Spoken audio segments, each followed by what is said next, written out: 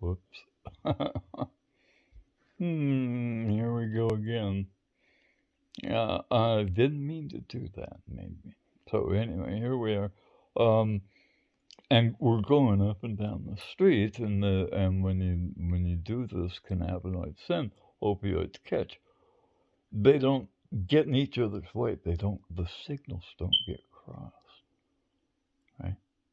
And that's why that happens, and that's why your body works the way it does. And and so what happens is like if you're eating something, it goes down into your stomach and, and your stomach has a little bit of uh, hydrochloric acid, right?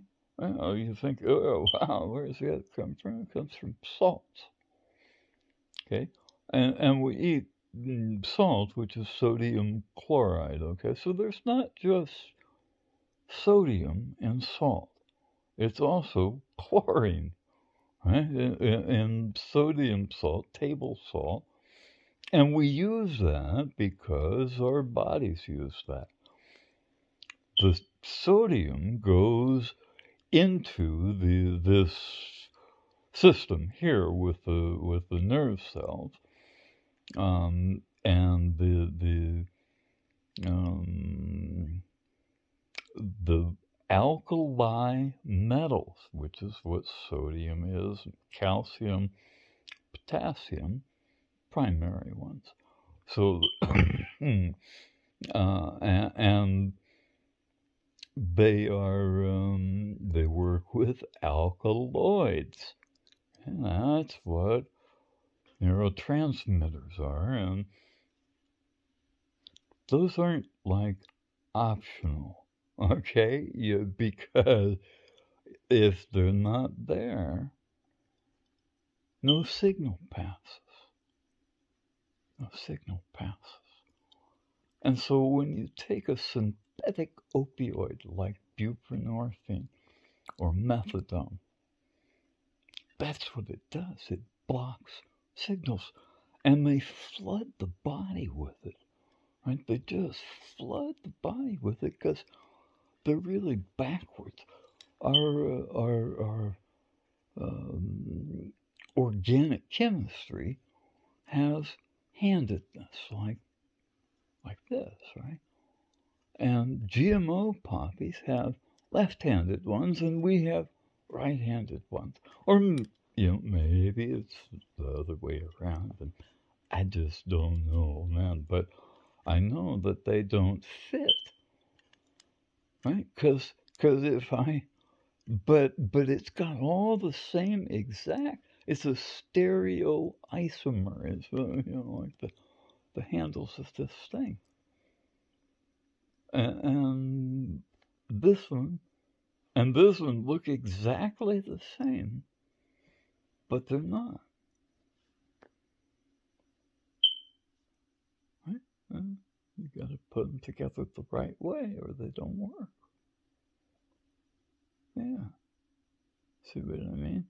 So so when you get GMO poppies, what happens is you're only getting one of them, first of all, right? Because they already hooked you on that, right? They got that hook, and, and then you start going through withdrawal, and people go, fuck me, man. Where is that shit? And they go down there and they line up, man, because um, it hurts. It feels like you're dying. And the problem, of course, is that you don't. Uh, and, and but it keeps hurting because these fuckers are put on um, indigestible salts that end up in our gut. And so my three years of withdrawal wasn't just withdrawal from narcotics takes 10 days. Okay, I used to sit with kids coming off of heroin, man. And I told myself, oh, Ricky, never, ever, ever, ever do that shit, buddy. Excuse me. I was out in the air yesterday and um, my lungs are uh, um, reacting to the smog in, in Phoenix. Um, anyway, and, and, and so uh, here I am, coughing and choking. Um, this is this is how they hook you. They they they get the the what they call pain medicine. It feels good the first couple of days, and and you get some relief maybe for a month or so. But there's a ceiling. There's only it, it only works so far. you know, it's because they're not drugs, man. They're bridging the gap between nerve cells, but only on one of them. And that's the hook, right? Because if you stop taking that motherfucker, your body says, "Hey, I don't, I don't have any of that, and I need it because otherwise I can't feel this stuff." It, it's, it, it affects not just one place where where this one's been parked. It affects all of them. And you know what? It hurts from the bottom of my fucking feet all the way to the tippy top of my head sometimes. And I have been cramping my belly and screaming for three fucking years. And you know what? I'm free now, man, and it is worth the price of admission. Absolutely. I would do it again standing on my head. Um, but it's not easy. It's not easy. It fucking hurts. And they're killing us, man, with salt. Because you know what salt does? Those same alkali metals attract the alkaline metals in the next column over in the in the periodic table. They make salts. Okay, they make salts, uh, and and the the next column over has two electrons, and these only have one.